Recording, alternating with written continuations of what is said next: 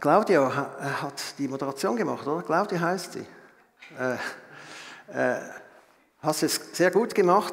Hast auch schön in das Thema eingeleitet. Wir möchten über das Wirken von Gott nachdenken. Und wie Claudia auch gesagt hat, ich möchte es nochmals sagen, vieles, was Gott wirkt, bleibt uns verborgen. Äh, können wir nicht sehen. Und anderes, von dem wir glauben, dass Gott es wirkt, auch unter Christen in christlichen Gemeinden, ist möglicherweise nicht immer auf Gott zurückzuführen. Das erkannte eben schon der weise Salomo, wie, es, wie wir es gehört haben in Psalm 127, ein Wort des weisen Salomo, wenn der Herr das Haus nicht baut, arbeiten seine Erbauer vergebens daran. Hier diesen Vers. Äh, nebenan ein Bild der Schweizer Künstlerin Anita Sieber-Hagenbach, die den 127. Psalm kunstvoll nachgebildet und auch nachgeschrieben hat. Da ist das der ganze Psalm in ihrer Handschrift niedergeschrieben. Und wir sehen hier das Haus mit den Türen und Fenstern und oben den 127. Psalm. Also Gottes Wirken und Bauen unter uns ist absolut entscheidend. Also wo Gott nicht wirkt, wo Gott nicht baut, ist alles, was wir Menschen tun, sei es noch so gut gemeint, vergebens.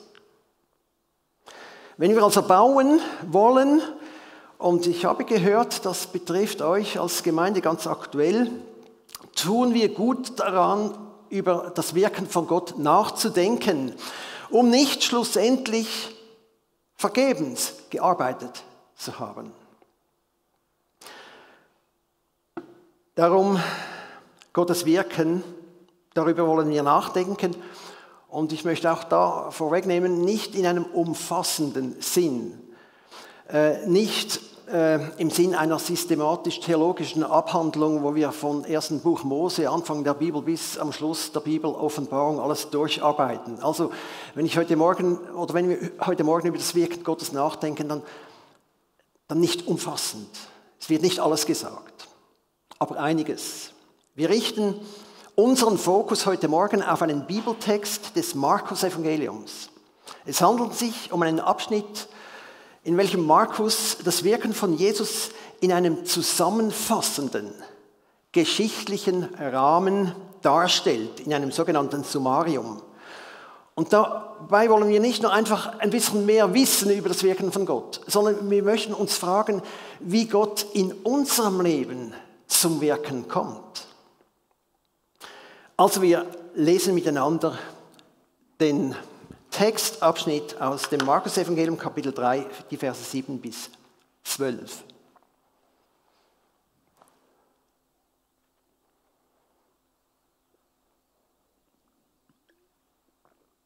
Jesus entwich mit seinen Jüngern an das Meer, das war der See Genezareth, und eine große Menge aus Galiläa folgte ihm, auch aus Judäa und Jerusalem aus Idumea und von jenseits des Jordans und aus der Umgebung von Tirus und Sidon kam eine große Menge zu ihm, da sie von seinen Taten hörten. Und er sagte zu seinen Jüngern, sie sollten ihm ein Boot bereithalten, damit das Volk ihn nicht bedränge. Denn er heilte viele, sodass sie über ihn herfielen, damit sie ihn anrührten, alle, die geplagt waren, und wenn ihn die unreinen Geister sahen, fielen sie vor ihm nieder und schrien, du bist Gottes Sohn. Und er bedrohte sie hart, dass sie ihn nicht offenbar machten.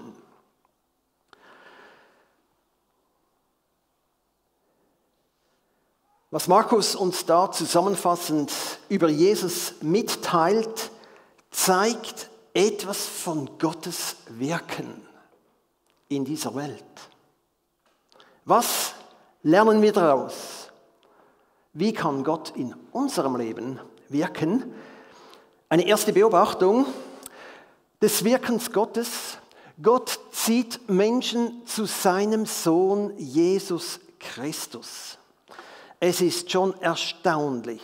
Massen von Menschen strömten aus einem riesig großen Einzugsgebiet zu Jesus. Also vom südlichen Idumea bis nach äh, Norden von Tyrus und Sidon waren das gut 280 Kilometer. Und von West bis jenseits des Jordans waren das gleich nochmals 130 Kilometer. Also das ist wie wenn Menschen aus einem Gebiet von Genf bis Airolo zu uns nach Zürich heute Morgen angereist wären, um hier Jesus zu begegnen. Ist jemand von heute Morgen von Genf hierher gekommen?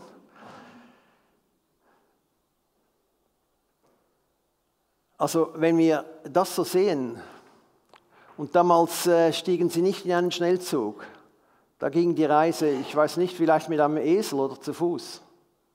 Unglaubliche Distanzen. Wenn wir das so sehen, dann können wir sagen, hey Mensch, was läuft da ab? Was geschieht da? Wenn Menschen sich aufmachen und große Distanzen überwinden, nur um Jesus zu begegnen. Was läuft da? Wir haben es hier mit einem Phänomen zu tun, das nur erklärbar ist, plausibel ist im Zusammenhang des Wirkens Gottes. Da, wo Gott wirkt, da geschieht Unglaubliches. Wir haben es vorhin im Lied gesungen, wenn Gott spricht nur ein Wort, dann steht die Erde still. Das ist so gewaltig. Da verändert sich alles wenn Gott wirkt. Jesus machte einmal seinen Zuhörern klar, niemand kann von sich selbst aus zu mir kommen. Der Vater, der mich gesandt hat, muss ihn zu mir ziehen. Wenn Menschen auf die Idee kommen, nach Jesus anfangen zu fragen, wenn Menschen anfangen, sich zu bemühen, ihn aufzusuchen, Jesus zu begegnen, dann weil Gott in ihnen wirkt, weil Gott in, sie zieht zu Jesus. Er zieht Menschen zu seinem Sohn Jesus Christus. Denn Gott handelt und wirkt in dieser Welt in seinem Sohn und durch seinen Sohn Jesus.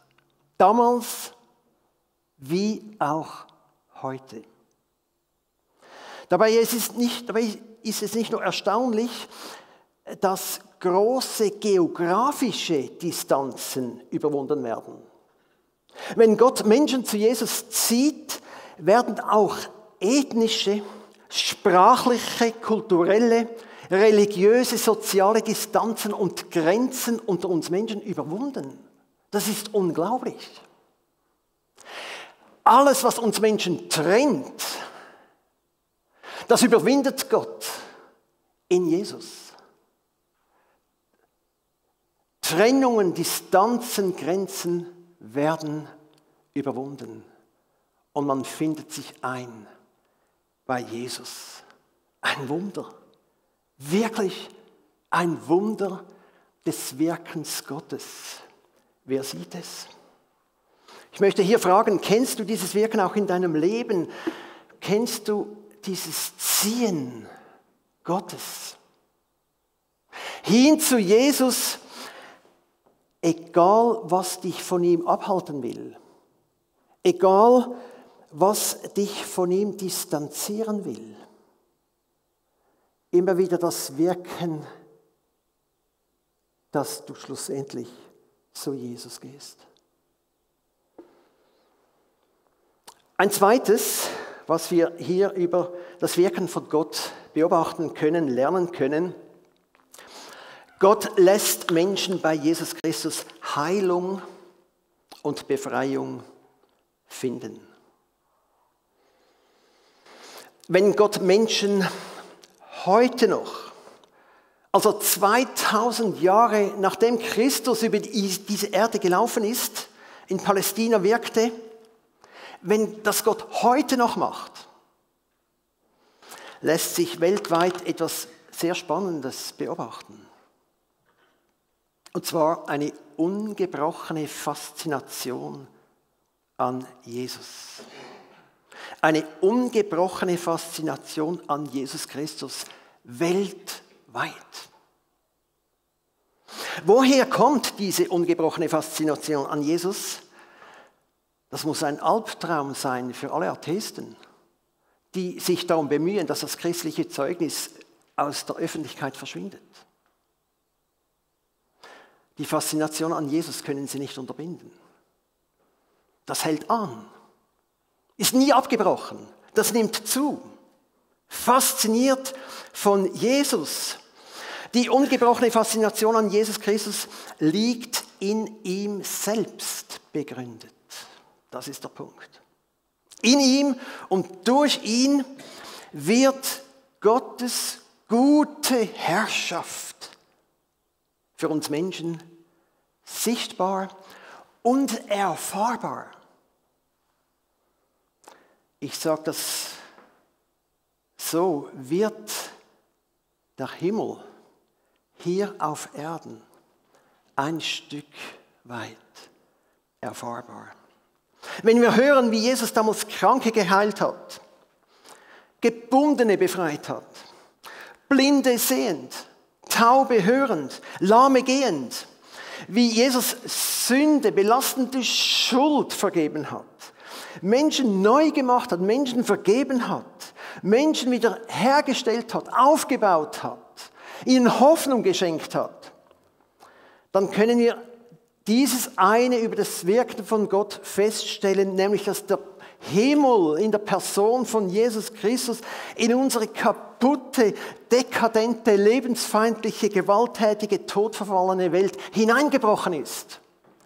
Da kommt etwas hinein, da kommt Leben in die Todverfallenheit dieser Welt. Da kommt Wiederherstellung in eine Welt, die völlig aus dem Ruder läuft. Himmel auf Erden. Ein Stück kommt vom Himmel in diese Erde. In Jesus ist das Reich Gottes, sein gutes Wirken, angebrochen unter uns hier auf dieser Erde. Ich sage bewusst angebrochen, weil der Himmel auf, Erden noch nicht ganz voll durchgebrochen ist. Angebrochen. Man kann das vergleichen, Gottes Reich unter uns, das angebrochen ist, mit dem Anbruch einer Schönwetterperiode. Wenn ein Hochdruckgebiet angekündigt wird. Das ist ja so, jeweils so, wenn, das war allerdings diesen Sommer nicht so, aber wenn man so wochenlang in einem Tief sitzt, da regnet es und ist dunkel und grau und kalt und feucht und, und dann kündigt der Wettermoderator, der Buchli, ein Hochdruckgebiet ab, an. Äh, Schönwetterperiode. Es bricht ein, es bricht an. Und in den Bergtälern ist es eindrücklich zu beobachten. Das kommt ja nicht schlagartig von jetzt auf den anderen Moment, das Hochdruckgebiet, obwohl es schon da ist. Es, es braucht noch ein bisschen Zeit. Und das ist, wie gesagt, in den Bergtälern zu beobachten, wenn sich dann die dichten, nebligen Wolken plötzlich anfangen sich zu lichten. Man sieht den blauen Himmel noch nicht, aber so nicht mehr ganz so dunkel und zwischendurch kann man die Sonne so punktuell sehen, so leuchtend, aber man sieht sie noch nicht. Und man spürt schon ein bisschen die Wärme. Und dann kann es sein, dass plötzlich die Wolkendecke an einem Ort aufreißt und ein Sonnenstrahl dringt durch. Ah, herrlich. Siehst du das Blaue? Und die Sonne wärmt und alles erscheint im Glanz der Sonne, die ganze Umgebung. Das ist äh, herrlich. Und da kann es sein, dass der Himmel plötzlich wieder zugeht. Dann wird es wieder dunkel. Es kann sogar sein, dass es nochmals zu regnen beginnt. Kann man sagen, ja Bucheli, wo ist das Hochdruckgebiet? Das ist da. Das sind nur noch so letzte Kapriolen, Schlechtwetterkapriolen, die dem der Schönwetterperiode Platz machen müssen. Es ist nur noch eine Frage der Zeit, bis der ganze Himmel tiefblau erscheint. Es ist nur eine Frage der Zeit, bis Gottes Reich die ganze Welt mitsamt der ganzen Natur im Lichtglanz der Herrlichkeit Gottes erscheinen wird. Also Gottes Reich, Gottes gute Herrschaft ist in Jesus Christus unter uns angebrochen und wird bereits ein Stück weit erfahrbar, wo Menschen bei Jesus Christus Frieden finden. Frieden mit Gott, wo Menschen bei Jesus Befreiung finden aus Gebundenheiten. Es gibt so viele Gebundenheiten, denen wir ausgeliefert sind. Befreiung von Zwängen, Befreiung von Ängsten, Befreiung von, von, von Leere, von Hoffnungslosigkeit, Befreiung von Belastungen, von Schuld, aber auch Heilungen von physischen und psychischen Krankheiten, wie auch Kraft, Frieden, Trost, Hoffnung, wenn Heilung ausbleibt. Der Himmel ist noch nicht ganz hier. Und wir mit Krankheit, Schwachheit und Tod konfrontiert werden. Erleben wir bei Jesus Kraft, Trost, auch das auszuhalten. Gott lässt Menschen bei Jesus Christus Heilung und Befreiung finden, auch heute noch. Und das ist das Faszinierende. Hören wir noch, wie viel Jesus Christus unter uns wirkt? In unserem medialen Zeitalter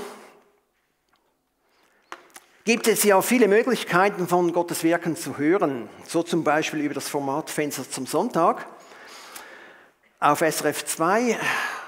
Ich weiß nicht, ob ihr das hört oder seht. Ich nicht oft, aber manchmal falle ich so in diese Sendung hinein. Und es berührt mich doch immer wieder, was Menschen da erzählen, wie sie Jesus erlebt haben. Erstaunliches. Oder auch äh, das ERF-Format Mensch, Gott, Begegnungen zwischen Himmel und Erde. Das ist eine Talksendung auf Bibel TV. Ich weiß gar nicht, ob das noch ausgestrahlt wird. Ich erinnere mich noch gut an einen solchen Talk, den ich zufälligerweise gesehen habe.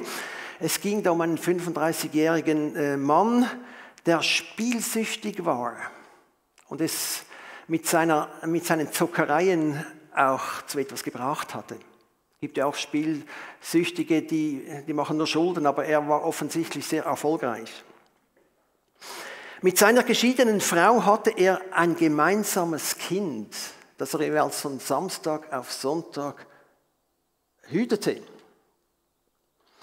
Am Sonntagmorgen musste er jeweils das Kind seiner Frau übergeben. Und die Übergabe des Kindes fand in einer christlichen Gemeinde unmittelbar vor dem Gottesdienst statt, weil seine Ex in dieser Gemeinde sonntags den Gottesdienst besuchte. Nach der Übergabe ging der Mann jeweils auf direktem Weg wieder ins Spielcasino.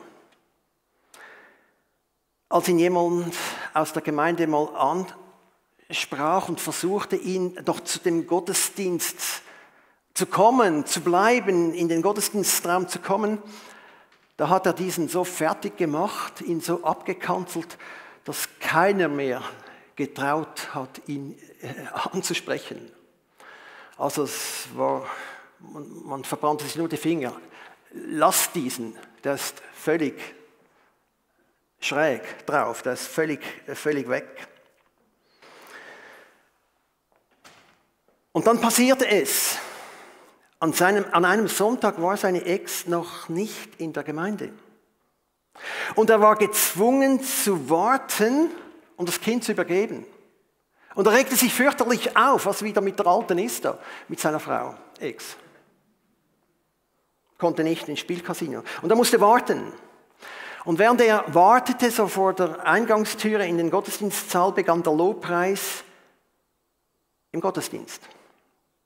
Also eine Band spielte, die Gemeinde sang zu Gott und drückte ihre Dankbarkeit aus und, und wertschätzte Gott in seiner guten Art, wie er Gutes tut. Mit guter Musik. Und während des Lobpreises berührte Jesus sein Herz. Ihr Lieben, Lobpreis im Gottesdienst, das ist nicht so ein unnötiges Beigemüse, das man muss aushalten, weil es so modern ist und die einigen einen wollen das. Auch durch den Lobpreis wirkt Jesus. Das hört man immer wieder. Es gibt Menschen, die nicht äh, vom Verstand her den Zugang finden, aber über ihr Herz, über Emotionen. Und während er den Lobpreis hörte, wurde er emotionell überwältigt und konnte seine Tränen nicht mehr zurückhalten.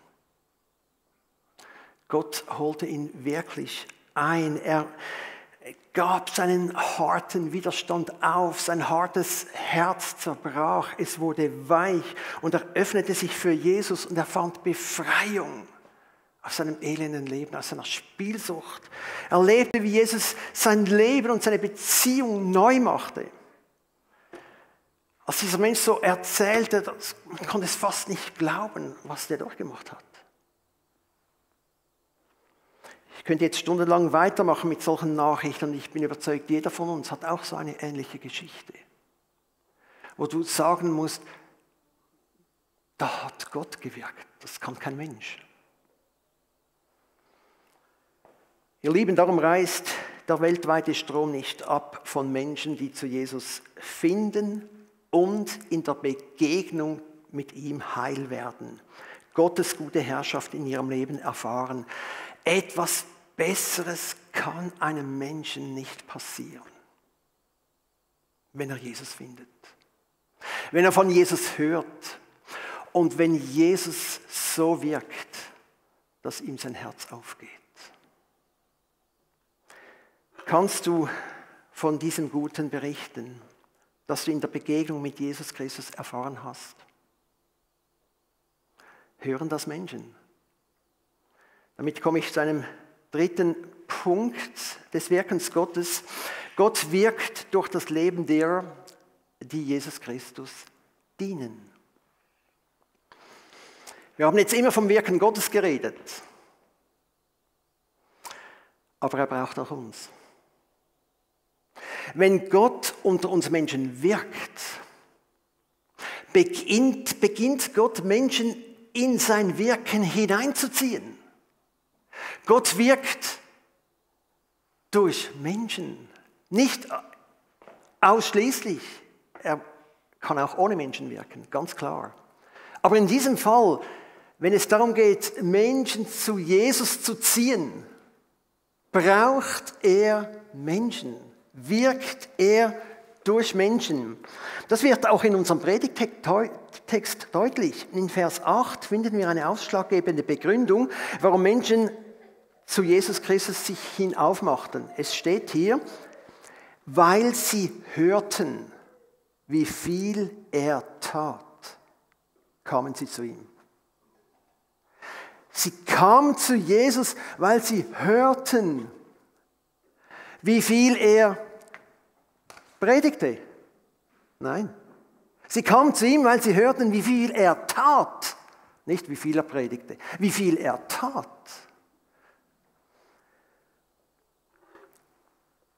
Die Menschen damals suchten die Begegnung mit Jesus, weil sie von seinen guten Taten hörten. Und meine Frage, woher hörten denn die Menschen von den guten Taten Jesu? Woher? Ist klar, steht hier nicht, aber das ist logisch. Sie hörten es von Menschen, die mit Jesus und seinen guten Taten in Berührung gekommen sind. Man redete untereinander. Das war Tagesgespräch. Man redete untereinander von Jesus, man redete untereinander von seinen guten Taten. Und wir müssen davon ausgehen, dass auch viele von Jesus und seinen guten Taten redeten, die es nur vom Hören sagen hörten. Das ist ja auch so, auch unter uns. Wenn du etwas Gutes gehört hast von einem Menschen, der etwas Gutes erfahren hat, dann erzählst du das dem Nächsten. Du, probier's mal. Ich habe gehört von diesem. Muss es nicht einmal erlebt haben.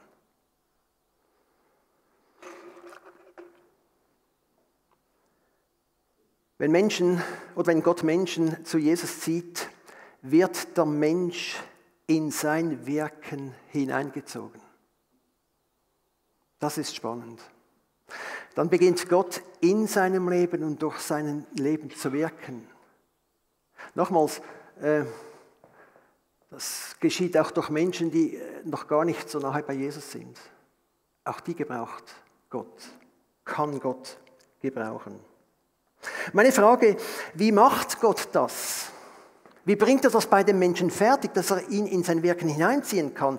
Und was muss der Mensch, was müssen wir tun, damit das geschieht? Was müssen wir tun, damit Jesus uns in sein Wirken hineinzieht? Wie können wir Gottes Wirken in unserem Leben erfahren? Wie Gott das macht, zeigt uns Markus in seinem Evangelium wo er beschreibt, wie Jesus Menschen beruft und in einer überschaubaren, verbindlichen Lebens- und Dienstgemeinschaft zu seinen Nachfolgern macht.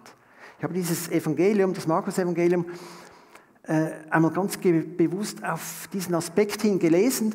Da heißt es, wie Jesus am Anfang seine Jünger ruft, um sie zu Menschenfischern zu machen. Und dann dachte ich mir, ja, Jesus, jetzt will ich aber wissen, wie hast du das gemacht?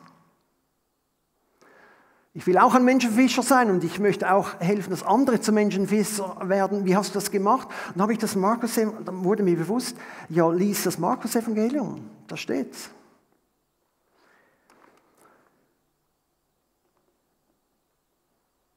Wir sprechen heute von Jüngerschaftskursen oder Jüngerschaftsschulung und die unter evangelikalen Christen ganz hoch im Kurs stehen, wo man ein vielfältiges Lebens- und Schulungsprogramm von missionarischen Aktivitäten durchläuft.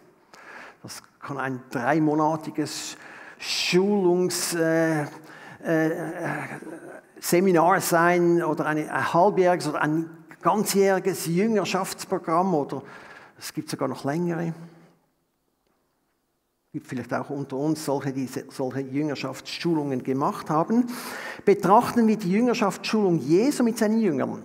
Das habe ich eben gemacht im Markus Evangelium. Ich wurde ernüchtert, schlicht ernüchtert. Nicht nur deswegen, weil die Jünger permanent versagt haben. Also das Markus Evangelium ist, ist ein klassischer Versagensbericht. Zuerst versagen die Männer komplett bis am Schluss versagen. Und dann denkt man, ah, die Frauen haben nicht versagt, aber ganz am Schluss haben sie auch noch versagt.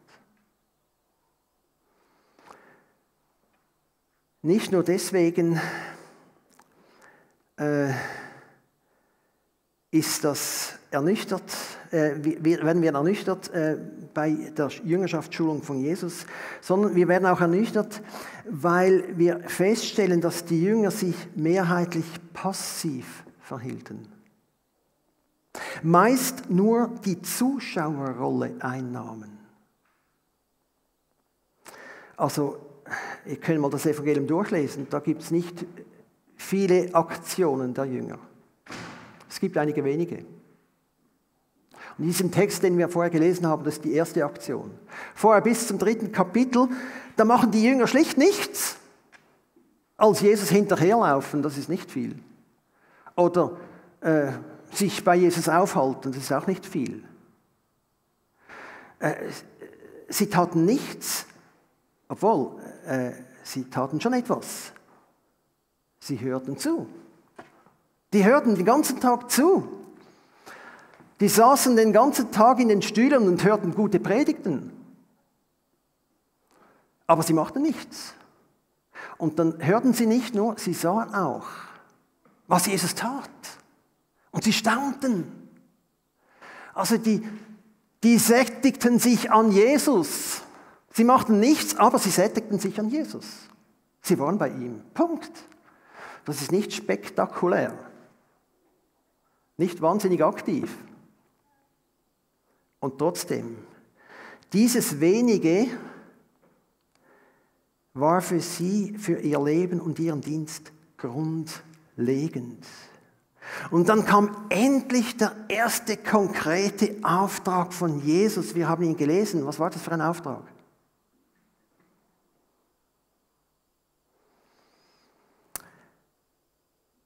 Ja, ihr wisst das schon.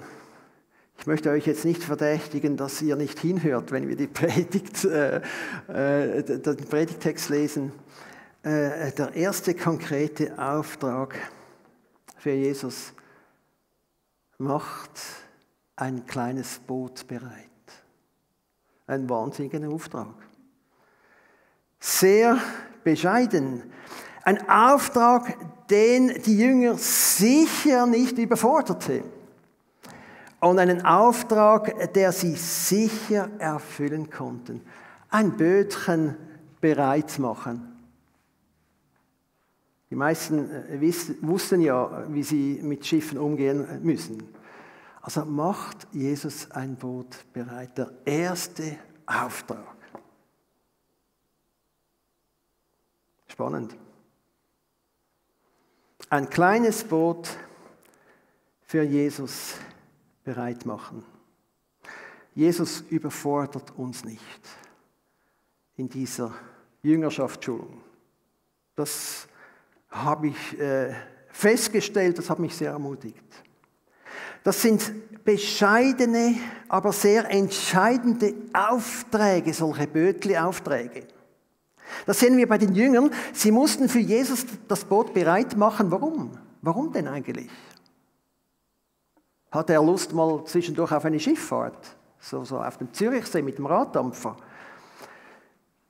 Sie mussten das Boot, das Bötli für ihn bereit machen, damit er in seinem Wirken nicht mehr von den vielen Menschen behindert wird.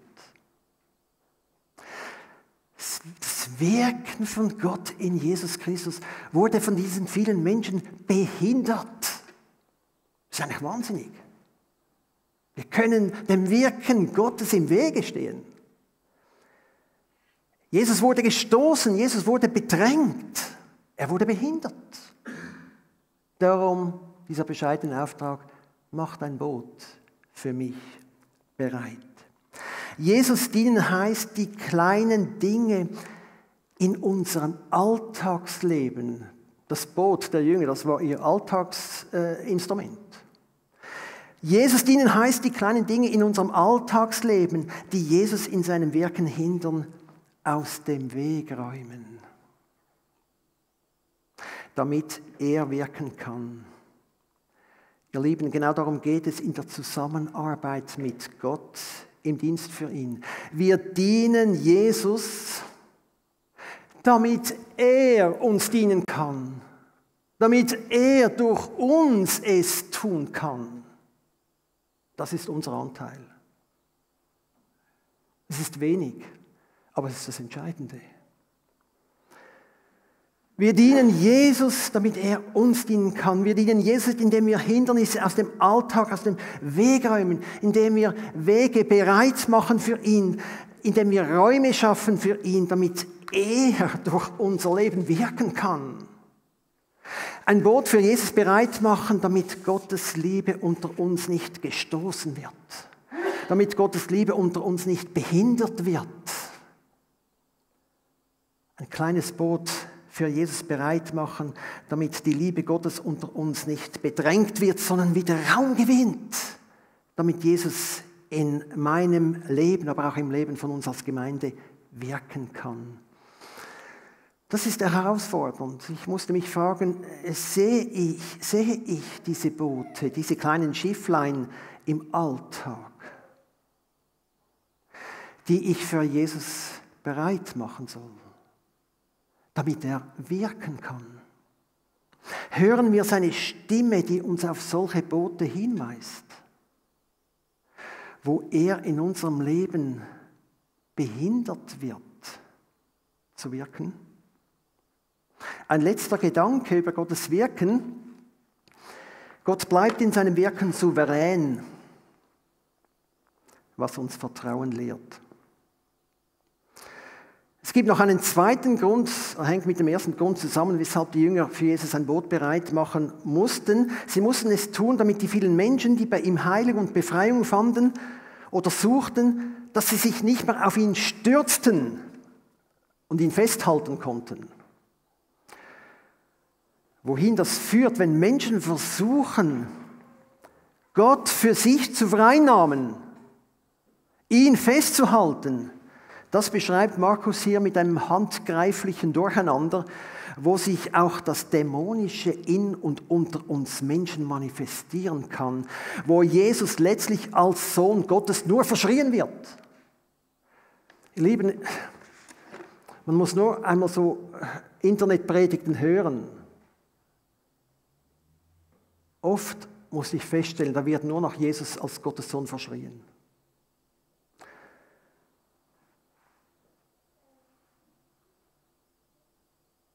Das war damals ein wildes Durcheinander. Wir konnten das spüren, als wir diesen Text gelesen haben. Da, da, ist etwas ganz Komisches passiert. Ein wildes Durcheinander. Aber Jesus entzog sich diesem Vorgang. Jesus entzog sich dem Zugriff des Menschen. Jesus entzog sich dem menschlichen Versuch, ihn für sich verfügbar zu machen. Er lässt sich nicht von den Dämonen vor den Karren spannen. Er lässt es nicht zu, dass sie ihn bekennen. Die einzige Autorität, die ihn in Wahrheit offenbar machen soll, ist der himmlische Vater. Auch wir können Gott nicht vor unseren Karren spannen. Da macht Jesus nicht mit. Wir können ihn durch unser Bemühen, auch wenn es noch so gut gemeint ist, nicht in unser Wirken hineinziehen. Wir denken darüber nach, wie Gott uns in sein Wirken hineinziehen kann.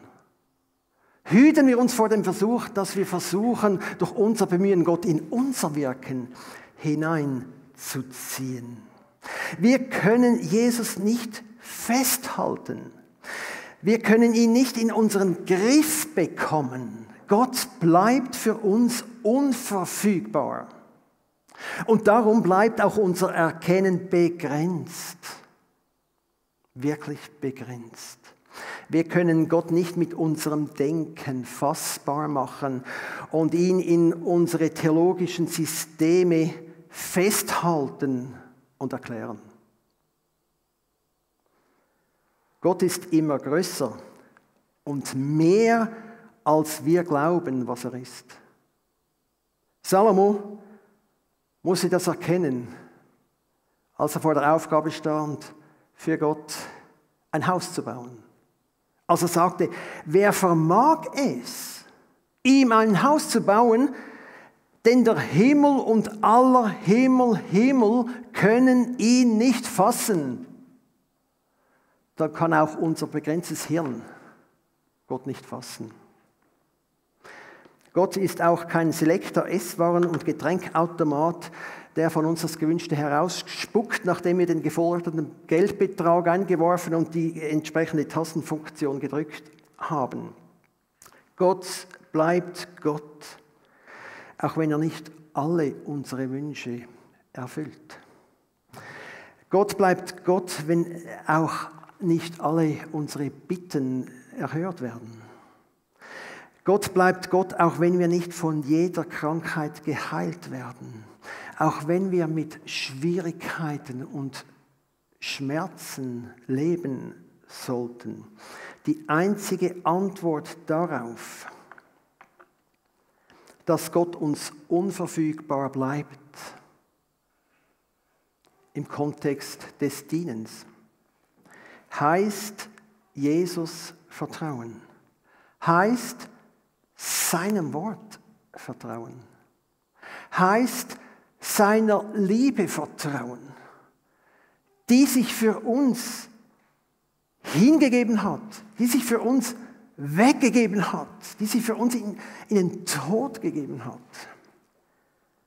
Jesus will uns dieses Vertrauen lehren und uns in dieses Vertrauen hineinziehen. Ich bete. Jesus Christus, wir danken dir für dein Wort. Wir danken dir, dass wir daran erinnert werden, wie gut du bist und welche Taten du unter Menschen gewirkt hast. Und wir danken dir, dass wir auch heute noch von Menschen hören, denen du begegnet bist, die dir begegnet sind, die heil geworden sind. Wir danken, dass es unter uns noch geschehen darf und wir wünschen es uns, dass das noch in einem größeren Maß geschehen darf. Ich bitte dich für diese Kirche hier, die baut, dass genau das geschehen darf, dass sie das erleben dürfen, dass du Menschen ziehst, Vater, dass du Menschen zu deinem Sohn ziehst. Und wir möchten uns auch